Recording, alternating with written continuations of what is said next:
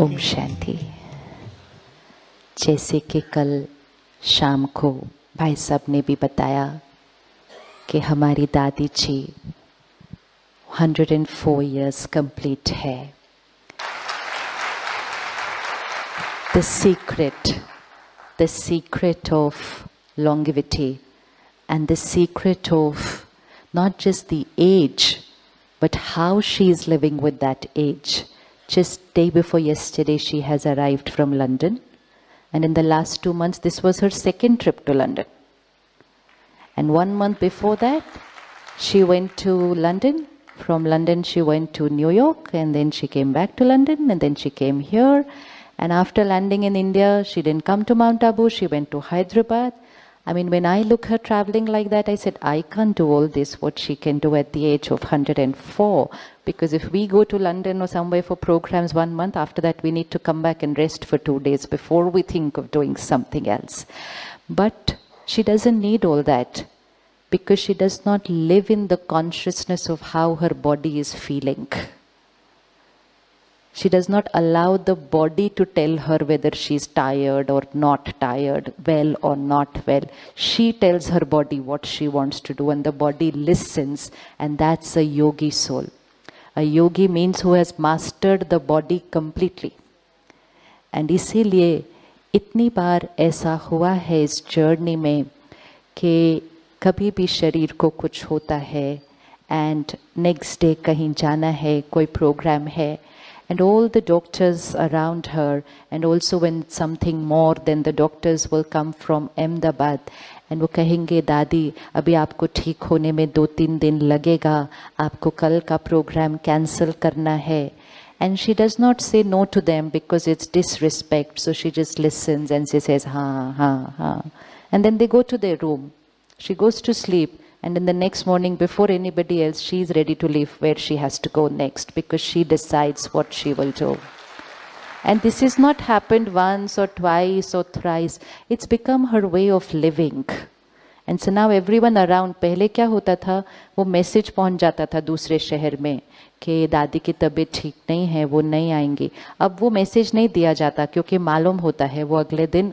आने ही वाली हैं because she chooses and decides to go And last time when she was here with us in the doctor's conference, she confidently told everybody, मैं दवा से अब चलती नहीं ये शरीर दवा से अब चलता नहीं ये शरीर सिर्फ और सिर्फ भगवान की और परिवार की दुआओं से अब चलता है I am living with blessings not with medicine any more because medical science does not say the body is perfect and fit, but she is perfect and fit.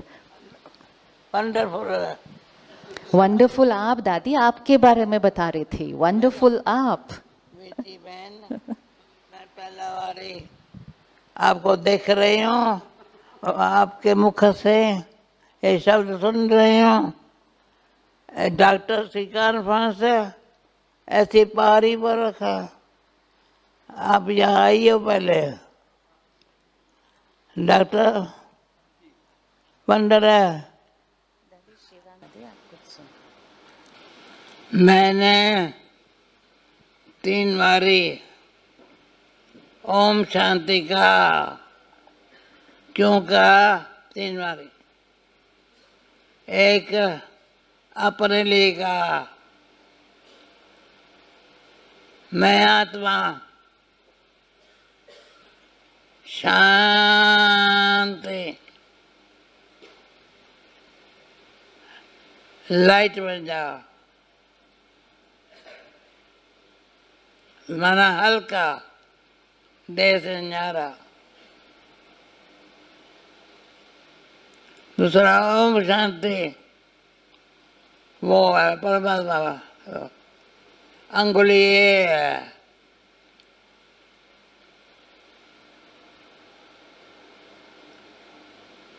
इशारा करता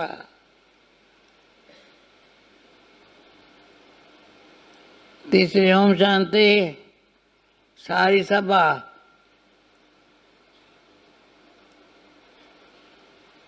वंडरफुल शांत में से है। शरीर में प्यारी लाइट और परमात्मा बाप की माइट से लाइट और माइट। ऐसा अच्छा हुआ। जो आज दिन तक भी मैं आपके सामने आई हूँ। मैंने समझा नहीं था। सच एक हज़ार डॉक्टर होंगे। बड़े वंडरफुल मैं शरीर को निरोगी। हमारी हिंसा कैसी है। ये नहीं बताओ। कैसे सुनो सुनो। इसको बताया। ये शरीर।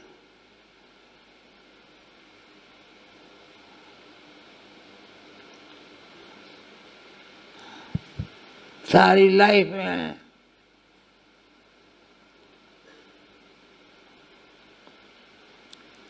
मेरे ख्याल में एटी इयर्स ज्ञान में हो गया।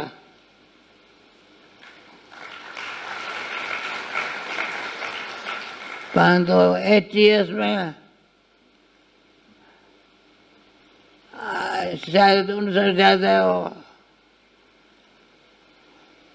परंतु कमाल है परमात्मा बाप की।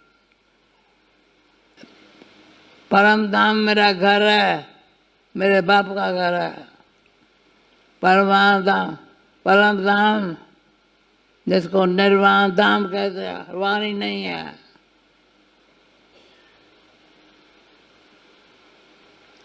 परम धाम, निर्वाण धाम, शांति धाम। ये हमारा घर आपका भी घर है। चलेंगे क्या अपने घर में।